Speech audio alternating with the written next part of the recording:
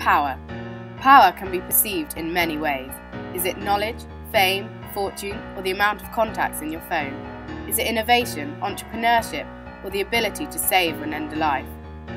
What do we see as powerful? When you think of a powerful person, some of you will think of a tall, broad, muscular bodybuilder whose power comes in the form of strength. Others of you will think of a smartly dressed professional in a crisp white shirt and iron suit. But do these images really depict power? Is power just in the form of physical strength, money, or control? What about the power of people, speech, and free will? Can you really define power? Does everyone have the ability to be powerful? Let's backtrack a minute then. Who is powerful? According to Forbes, Barack Obama is currently the second most powerful man in the world right now, just behind Vladimir Putin.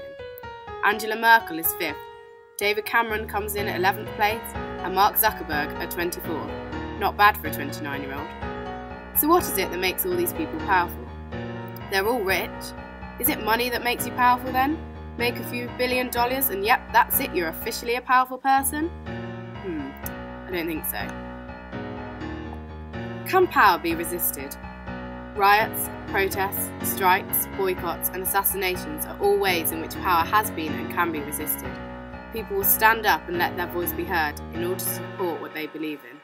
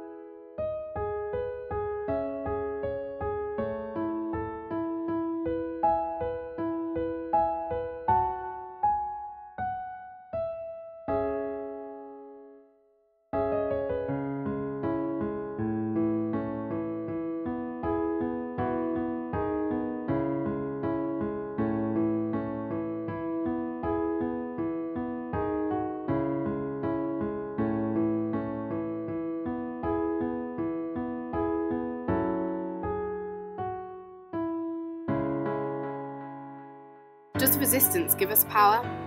Resistance is the act of opposing or withstanding power. It's having the guts to disagree and do something about it. With enough people willing to support, the more and more powerful the resistance becomes. So is it not powerful to go against the majority? Does resisting give you power? So, what is power? Ultimately, you cannot really define power. It is subjective, perceptive, and personal. It is your own opinion, your own experiences, to which no one has the right to change.